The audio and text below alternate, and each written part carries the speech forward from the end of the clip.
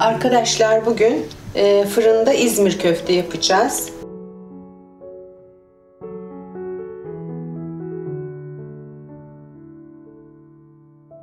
Onun için yarım kilo köftemiz var. Önceden hazırlamıştım. İki tane charleston biberim var. Dört tane patates elma dilimi doğranmış. Ee, iki tane domates gene elma dilimi doğranmış. Baharatlarımız var. Kekik, karabiber, kırmızı toz biber, tuz. Yarım yemek kaşığı, yarım yemek kaşığı da domates ve biber salçalarımız var. Tuz var, şey var, zeytinyağı. Zeytinyağı var, tereyağı var. Onları zaten ne kadar koyacağımı işlem sırasında göreceksiniz. Patateslerimi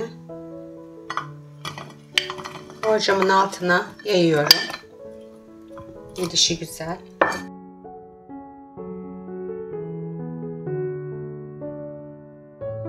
Köftelerimi diziyorum. Böyle aralarına biber serpiştirerek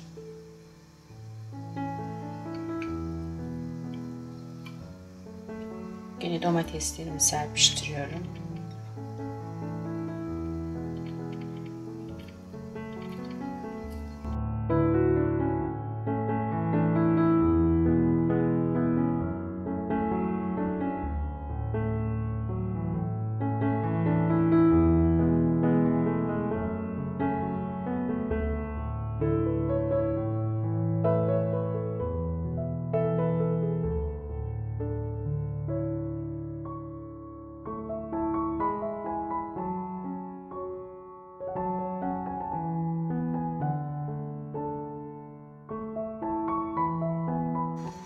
Ee Leyla Hanım, dün annenizle yaptık yemeği, bugün siz de mi yapıyoruz? Evet, ne güzel.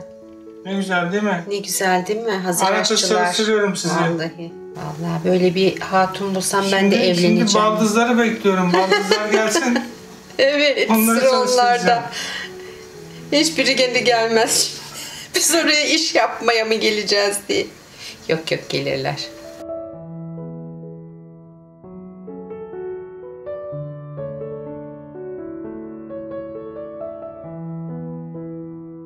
Şimdi ne yapıyoruz? Evet tuzumuzu Serpiştiriyoruz. serpiştiriyoruz. Zaten köftede tuz olduğu için fazla tuz koymayacağım. Kekiğim var. Buna kekik güzel yakışıyor. Köftenin içinde olmadığı için buraya koyuyorum.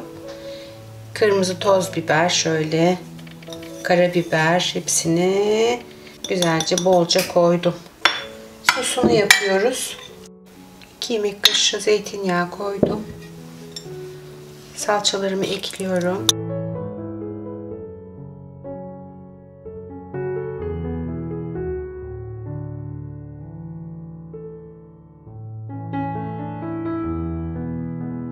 İki çay bardağı sıcak suyu ekledim.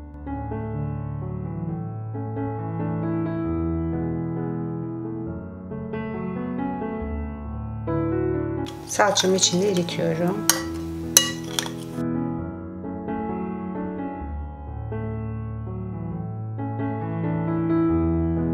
Sosumu üzerine gezdiriyorum. Her tarafına gelecek şekilde köftelerin üzerine, patateslerin üzerine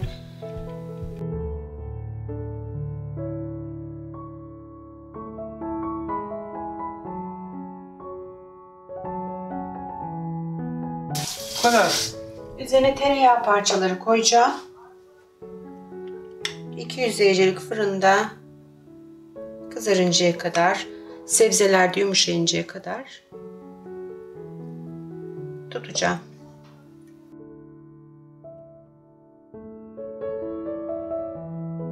Zaten e, sebzeler sulanacağı için fazla su koymadım. Gene de şöyle bir çay bardağı daha ekleyelim. Yani 3 çay bardağı 3 çay bardağı koyduk? oldu evet. Tamam.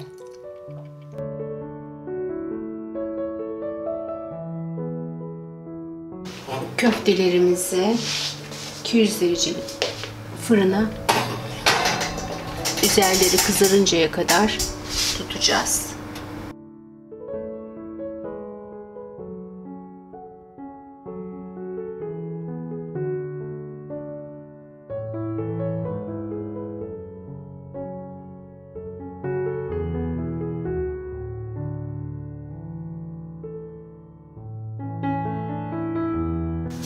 Oldu mu Leyla Hanım? Evet çok nefis oldu harika oldu. bak.